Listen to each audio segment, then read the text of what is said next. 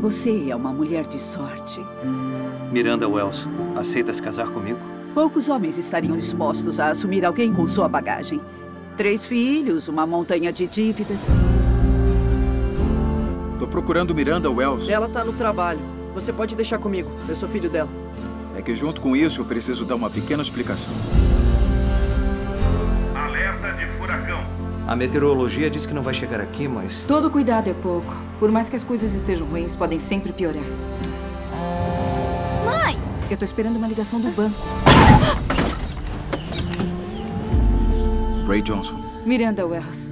Vou ter que pagar a franquia. não desperdiça seu seguro com isso.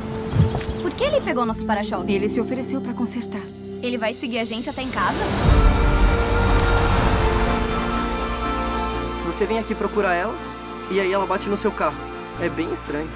Ah, é? Os pensamentos atraem coisas com uma força que você não pode ver, mas sem dúvida é real. Certo? Esse sou eu, pensando em pizza. Não olha pra mim. Temos que ter cuidado O furacão pode não chegar a Louisiana. Tá legal. porque recebemos aquilo que esperamos. Tô aberto à possibilidade que o que quer que aconteça, Ai, meu Deus. até uma coisa ruim, pode levar a coisas melhores. Eu não posso pagar um novo telhado. Deixa eu ajudar, Por que tá sempre me ajudando? porque eu posso.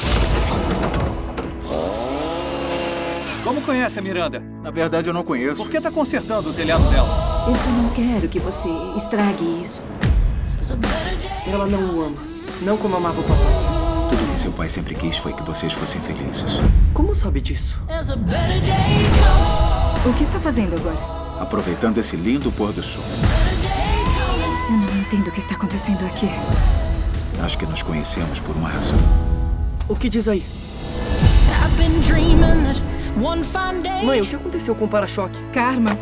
Ou talvez ela seja só uma péssima motorista. better day coming.